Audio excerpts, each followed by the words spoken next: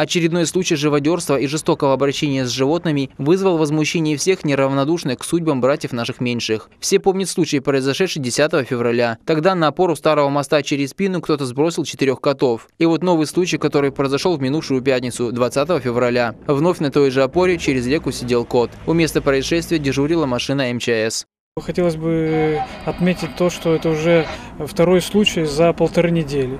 Перед этим, это 12 февраля было, значит, э, там четыре кота было э, ну, на этой опоре.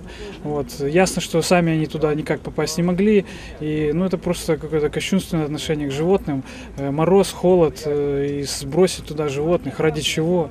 Так же, как и в первом случае, операцию по спасению несчастного животного доверили Кириллу Саунину. Он занимается альпинизмом 15 лет, и у него есть лицензия на осуществление такого вида работ. Ему понадобилось несколько минут, чтобы спуститься на опору моста и забрать бедное животное.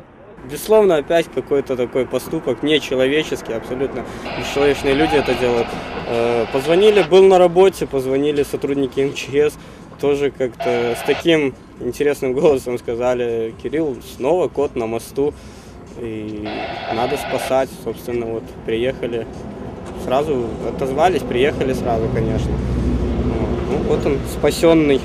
Произошедший во второй раз случай его не оставил равнодушным. Пускай сам спрыгнет, посидит на этой колонне, а потом мы приедем, доблестно спасем его.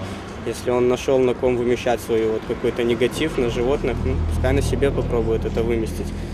Вот. А так однозначно поступок, который ну, нельзя оставлять э, безнаказанным. Как бы. Будем надеяться, что общество само будет помогать нам найти данного человека и раскрыть все-таки вот эти злодеяния.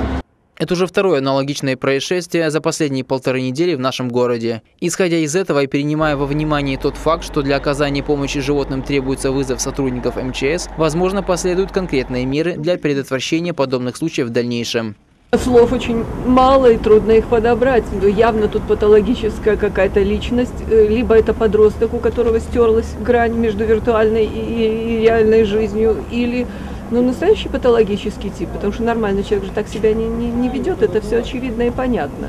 И нам всегда очень странно, что в этом случае милиция плохо реагирует, потому что, кажется, всем известно, э, жестокость к животным и к людям – это явление одного порядка. Именно поэтому мы направили письмо начальнику милиции с просьбой как-то вникнуть в это дело и, может быть, э, помочь, помочь выявить, вычленить эту личность.